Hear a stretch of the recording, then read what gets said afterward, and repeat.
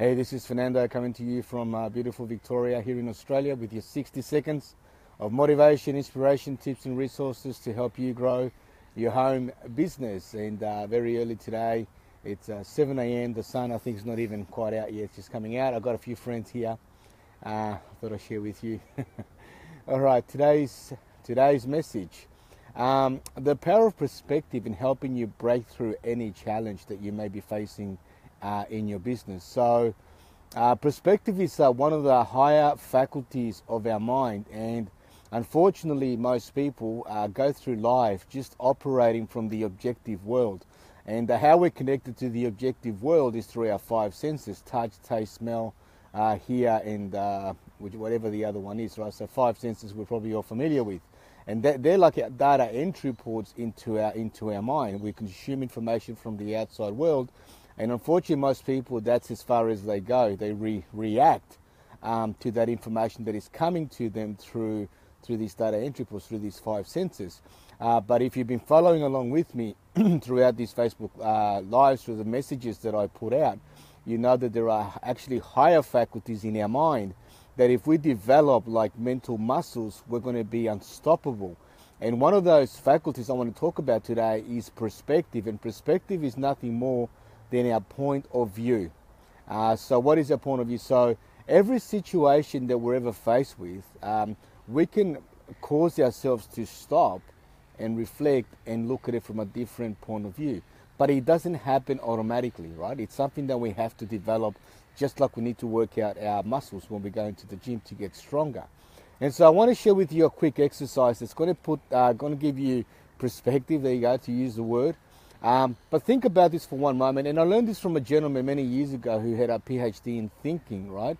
And uh, the example is if you think about having a square, you've got a square with, uh, actually, you've got nine squares, right? Nine squares, three rows each, okay?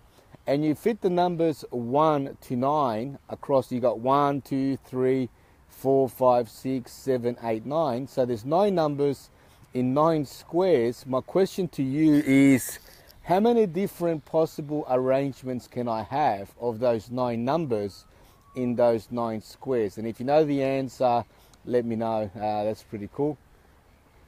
But most people think it's only nine. You know, I can arrange it nine ways.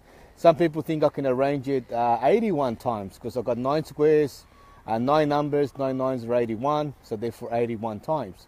Uh, and, you, and, that's actually not too bad, right? 81 times, that means 80, 81 different ways that I can look at a situation, right? Nine squares with nine numbers.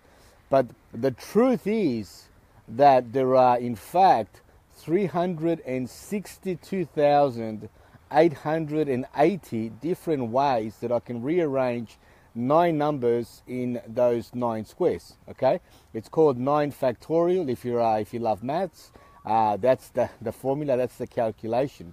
So when you think about that, right, here's a problem. I have nine numbers in nine squares. I think that that's, that's a problem because that's all I can see. And there is, in fact, 362,000 different other possibilities.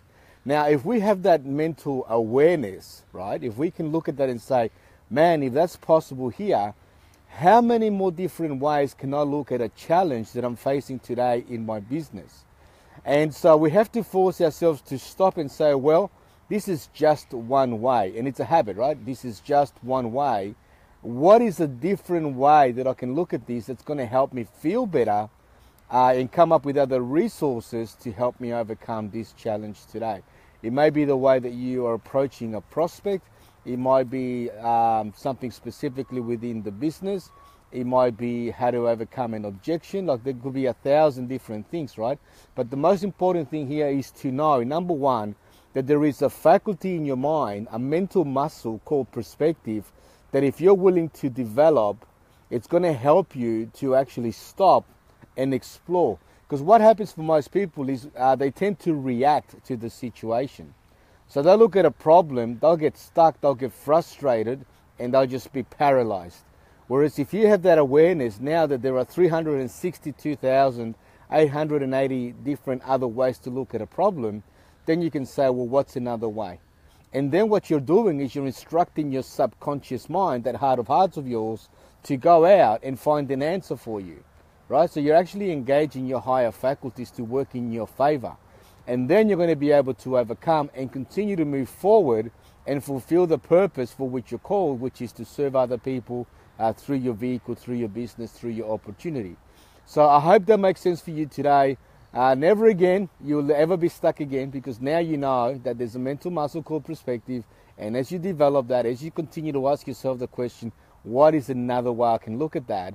The answers are going to come. The problem for most people, actually, when you think about it, is that the, the questions they're asking themselves are not very empowering. It's like, what do I do now? I'm stuck. Um, you know, we sort of just get caught up in the problem. Whereas if we ask better questions, then typically better answers come. What's another way? How else could I look at this? What resources could I attract? Who could I engage that might have experience in this area? Who could help me? So I hope that makes a difference for you today. Uh, that's the message. So, who have we got here? Hey, Patrick. Uh, thanks for joining in, brother. Good to see you there. Um, awesome. Great to see you getting value in that. So, what have you said there? so many ways to overcome your challenges. Your perspective can grow if you work on your own. Yeah, perfect, right? And so growing and personal growth has got to be an ongoing thing, right? We can't just stop growing. You know, it's, it's like it's everywhere in nature, isn't it, Patrick? Everywhere in nature, we see that if we're not growing, we're dying like a fruit on a tree. So there's there's got to be that personal commitment, right, to growth. Right, we've got to have a personal commitment to grow so that we can better serve. It's like uh, the way that I look at it is imagine if you go back years ago, um, we had DOS, you know, the disk operating systems in computers. Uh, we had the Amiga 2000s, the Amiga 64. Now that's sort of revealing my age a little bit. But imagine trying to operate a Mac today with a with the software of an Amiga 64. It's just not going to happen, right? Uh, and imagine the things that we can do now that we couldn't do back then, and that only is possible because that software has been upgraded. We, as human beings, have to continue to upgrade our software so we can better operate in today's changing environment uh, with the challenges that are um, that we have today in our businesses and everything that we're trying to do. Hey Becky, uh, thanks for joining. Good to see you here. So I hope you found value in this message. And if did, if you did find something valuable here, I want to invite you to comment below. Let me know your thoughts. Uh, do take a moment to uh, share with someone that you feel needs to hear this. Maybe someone in your team that you know is stuck right? They need some help, and just sharing this message will give them, help them have the perspective that they need to start to overcome some of those problems. If you haven't checked out my Facebook group yet, I invite you to click on the link below. Uh, join fernandoloaiza.com, join my FB group. It's uh, a group that I created specifically for moms, dads, mompreneurs, and professional network marketers seeking to become tribe leaders and authorities in their niche. And if that's you, that's what you want to do, and you would like this type of ideas, these messages, these resources, then I invite you to join in with me and uh, be a resource there. Okay, that's it for now. Take care, be blessed, and we'll speak real soon. Enjoy the rest of your Sunday wherever you are. Bye bye.